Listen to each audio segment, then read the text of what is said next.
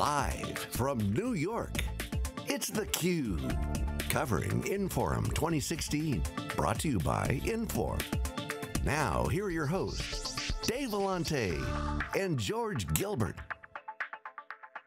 We're back, Duncan Angove is here. This is SiliconANGLE's theCUBE. We go out to the events, we extract the signals from the noise. Duncan, welcome back to theCUBE, it's good to see you again. Thank you, you too. So, big show for you guys. You know, every, every two years, you, you come together, you bring your customers together, it gets bigger and bigger, the story gets stronger. A little over five years ago, what, five and a half years ago? Mm -hmm. yeah. the, the, the band, the, the Beatles got together and decided to form a new sort of chapter. Take us through where you've come from and where you are today.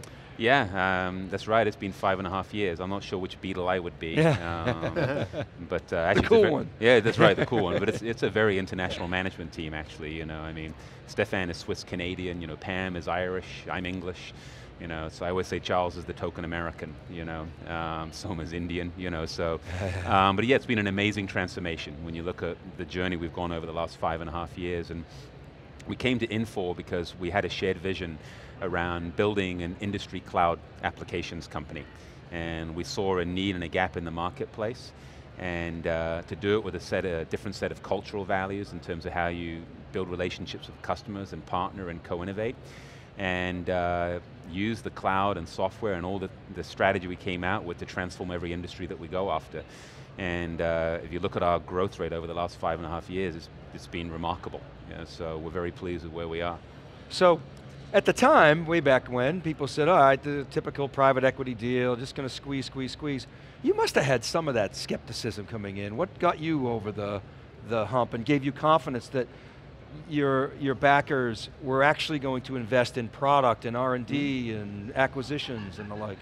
Yeah, um, I mean obviously Charles with his background has a deep understanding of the banking and investment world and all, and all of that, and uh, we, you know, we obviously we met with the guys before, you know, we joined the company and had real confidence in, in their support for building the kind of software company that we wanted to, and uh, you know, the investors have been in a long time, since 2002, so I mean, you know, we joined in 2010, it's already been holding for eight years, they put new money in, and uh, they've been fantastic partners um, of ours and have supported our transformation all the way along, and you know, there are benefits to being private.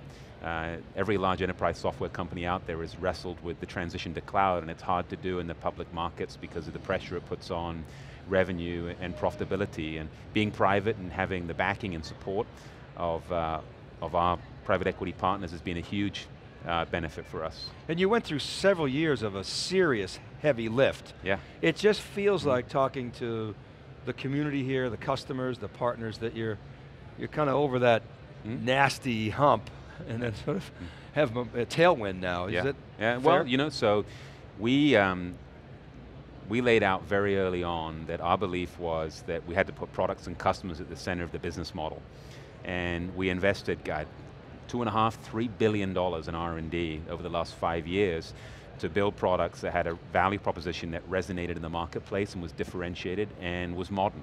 You know, it was cloud-based, had a great user experience, was powered by advanced analytics, and had the last mile features that, that the industries were in, you know, needed to run their business. And by putting the product first and investing what we did, you know, and co-innovating with our customers, it was a very potent mix. And um, you know, we're five and a half years into that now, and obviously, on, you know, we're with our XI Cloud Suite products, um, our results are showing that the strategy was right. So, in your keynote, you talked about uh, Blockbuster, you talked about Kodak, you know, you mm-hmm. gave some really good examples of how Instagram and Facebook, you know, have more pictures than those guys mm. ever had with, with far, far fewer people. Yeah. you know, sort of interesting times we live in. But, but now, when we go to these conferences, everybody's talking about the digital transformation. Talk about Infor's role in that digital transformation, and maybe some examples of folks that you've helped or are helping avoid being the next Kodak or Blockbuster. Yeah, so five and a half years ago, and let's just dial it back to talk about Hook and Loop, which is our internal design, design agency. Coming into Infor, that was something that Charles and me had always wanted to do, this idea that we could bring a different breed of individual into enterprise software, right? Guys that were you know, from, from more of the creative agencies, digital natives, mobile startups, web, the advertising world and all of that, people that had a better understanding of the design aesthetic and could bring design thinking into a software company. And uh, it's no surprise to anyone that uses enterprise software is the experience is generally sucked, right? It's forms-based, it looks like a representation of the underlying data model because it is and uh, it's a crappy experience. And human beings don't gravitate to crappy experiences. You know, and that's why you've seen a lot of ERP projects not deliver the ROI they should have because you don't get change management, user adoption, all of that. So we wanted to infect our own gene pool. So we went out, we found Mark Scibelli, our Chief Creative Officer, who you guys had on earlier, and we said, build us a design agency uh, inside the company, call it Hook and Loop, and um, work with our application teams and our customers to ensure that our applications deliver experiences that people love. And that's the, that's the mission that they embarked on, and we've invested a ton. It's one of the largest design agencies inside a software company anywhere in the world. And we actually changed the methodology for how we build software. It's not as simple as building a design agency. You've got to change the way, you've got to change the supply chain of, of how software is developed and move it to end user driven, um, agile prototyping, design thinking, all of that. And um, it's a hard thing to do. You know, it took five and a half years and you're seeing it show up in our software now and, and the results that our customers are getting. So a natural extension of that was our customers are coming to us and say, hey look, it's great that uh, you know, your software now creates advocates in our user community and they love using the software. Can you help us do the same thing with our end customers? And can you help us navigate digital disruption? And um, so we stepped back and we said, hey Mark, I mean, we need to go after digital and we need to help our customers' customers. So we created H&L Digital, and um, it's a client-facing capability inside Infor that works with our customers to help them navigate digital disruption, hack brand new revenue streams and businesses on top of you know, the platform that's their company, and uh, it's, uh, it's been amazing. I mean, the engagement's completely different. You're engaging not with IT, but you're engaging with CEOs and the management team and helping them understand how they transform their business. And um, I, we think we have a differentiated spot in the marketplace around what we're doing. Yeah, you're helping them become technology companies, not just companies that, mm -hmm. that purchase yeah. and deploy technology, mm -hmm. companies that actually sell yeah. technology. Yeah. They don't really, mm-hmm. not really mm-hmm. software companies, but they're all becoming software companies. Yeah. But Duncan, you were, when you talk about business transformation, it's clearly way beyond the, where, when sort of we were growing up, the ERP days where they were sort of making G and A, you know, line items mm -hmm. more efficient. Sure, yeah.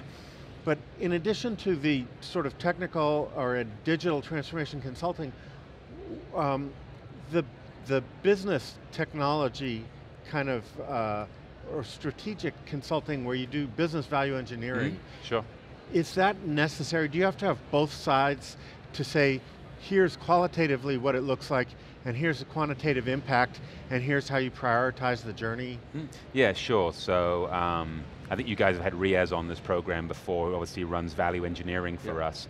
And um, that is a critical component of this because um, when you go off and you embark on these digital transformation projects, I mean, there are different, different streams of work that can come out of it. I mean, some of it is big, big digital transformation. It's a completely new business model, right? It's like if someone had gone to Carrie and said, hey, I have this idea for something called Uber, you know, build an on-demand network. I mean, that's a completely, you know, there you're disrupting yourself. Some of them are just new revenue streams. We decide to hack a completely different business, business revenue stream on top of it. But some of it just fundamentally is about running better and creating a stickier customer base. And in that latter category, that's where value engineering can play a big role because some of it's about business process transformation, about doing things better. And at the end of the day, it has to impact the P&L, it has to impact the balance sheet. And value engineering can come in there and help us with the kind of as-is process, how we map it to a to-be digital process, and how it ultimately impacts the financial statements of the company. So they play a big role in all of that probably the biggest differentiation when you're thinking about digital transformation as it relates to coming from a software company like us, because people have choices. You can go to an SI and they're buying digital agencies, you can just go to a digital agency, and you think you can come up with a digital transformation strategy. The difference with us is, is that the customers we're dealing with, they're using our software to automate and run their business. Okay, and they're codifying, codifying their products, their services, and their capabilities in our software. So once you wrap, I mean for simplistic terms, an API layer on top of that that unbundles all of that, right? Then we're allowed, to, we can come in there and say, we understand your business processes, you, our software is running your business, and we can start to use H&L Digital and value engineering to hack new businesses on top of it that leverages everything that you've already that you've already put into our software for you. So it's um, It's a very powerful proposition. Digital doesn't work if you can't actually fulfill the promise. It's like the early days of e-commerce, you know, late 90s, early 2000, when you'd go online and buy something and then it wouldn't arrive in time, it wouldn't arrive in time for Christmas. You can't fail at the last mile, right? And that's the differentiation. We can close the entire loop.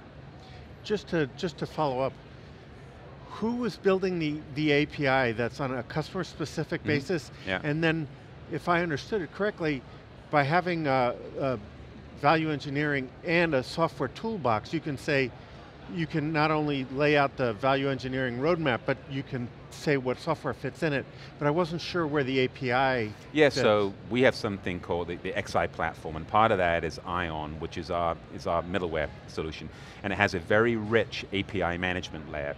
So if you're someone in the automotive manufacturing industry, you're using our cloud suite to, to basically do design, production, logistics, oh you know, CRM, all of that on our end-to-end. -end. We're automating all of those processes.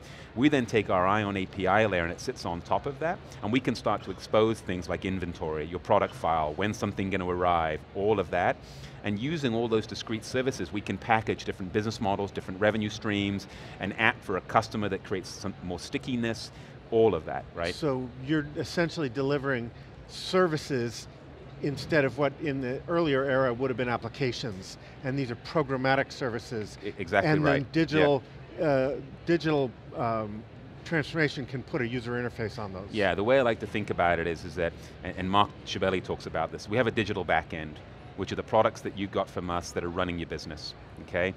On top of that, we put a, like an enablement layer exposing those products and capabilities and processes as a set of services. That's what API does. But then we also have solutions like our Cloud Suite CX, which is mobile frameworks, e-commerce frameworks, all of that, engagement frameworks, that is like, it's like the canvas on which we can curate completely new business models, new revenue streams, new applications for customers and all of that. And that's what Hook and Loop Digital does, right? They curate brand new businesses and applications on top of that framework. We're up yeah. against the clock, but I, a couple yeah. more questions if I may. So the, another big differentiator for you is the Dynamic Science Labs yeah. investment mm -hmm. that you made. What's the, give us the status of that and the thinking behind that initiative.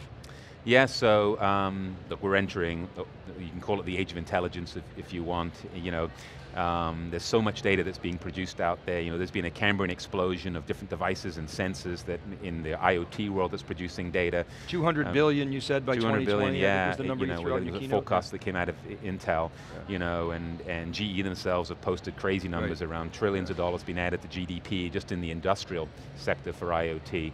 Um, so there's just tons and tons of data, and obviously our cloud suites that automate companies produce data as well.